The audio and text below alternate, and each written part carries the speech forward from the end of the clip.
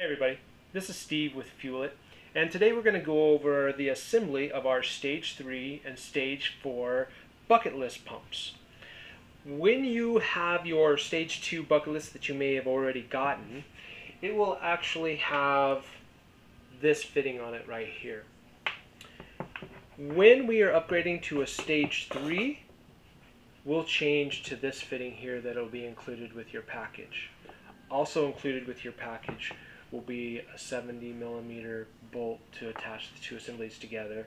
Then the uh, um, bolts and nuts and stuff to assemble the electrical fittings.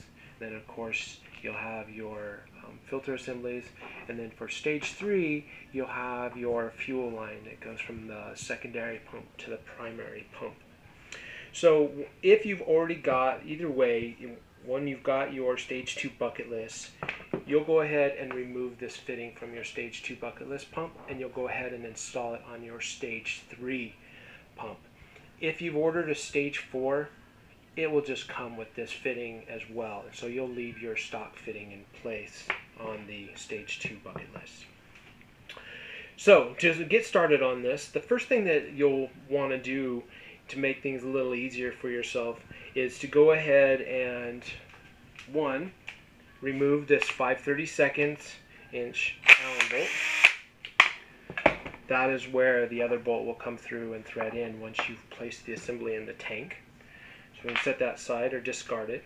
And then the other thing that you'll want to do is connect your electrical fittings. It'll be easier to do it outside of the tank. So you've got a positive and a ground, and then on your um, top hat you've got the ground and the positive. So in order to do that, you'll go ahead and take bolt. These are 330 seconds Allen wrench. Go ahead and put that in place.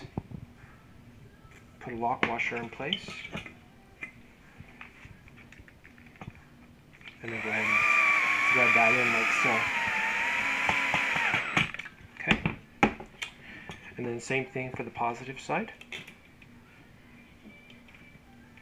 lock washer on. Now the holes for these, you have two options when you order from us. You can order a top hat and put in a, um, basically do a core deposit for a top hat. We'll have already drilled it for you and um, then you don't have to do it. You can just return your stock top hat to get your deposit back. Or if you're going to do it yourself, you you can see where the locations are for those holes, and the hole size is 9 64ths. So now that we've got that done, we'll go ahead and put the lock washers on. Then you'll go ahead and put your jam nuts on. And this bolt size, uh, nut size, is 11 30 seconds. So go ahead and tighten those up. And you'll want to get them pretty tight so that when you're actually making your electrical connection on the top and you're tightening up your nylon nuts that these don't back their back their way out. So go ahead and put a wrench on it. Tighten it up pretty tight. I won't show you just you get the idea. Alright. And then when once this is in the tank, you'll go ahead and set your stage 2 bucketless back in the tank.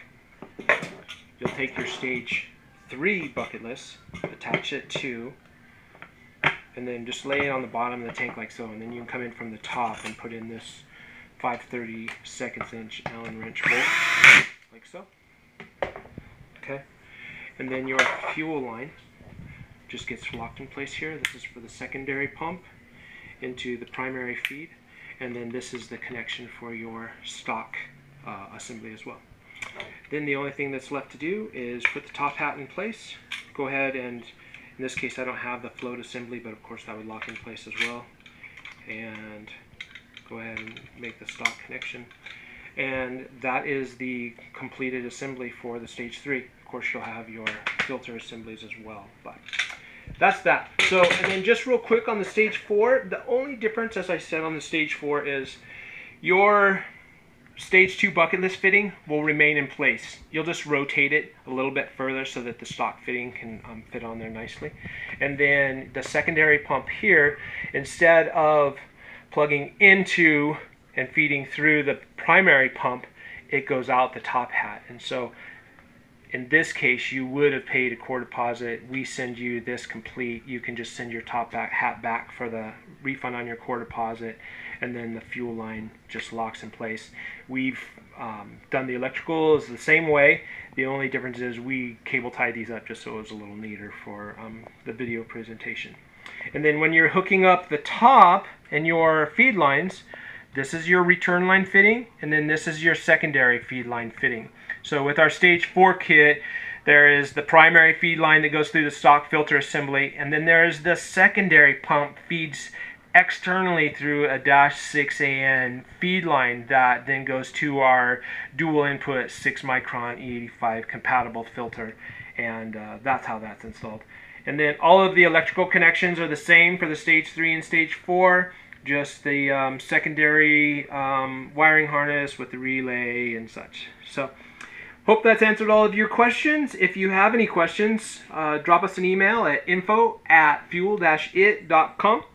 And again, that was our stage three and stage four bucketless assembly overview. Thanks for watching.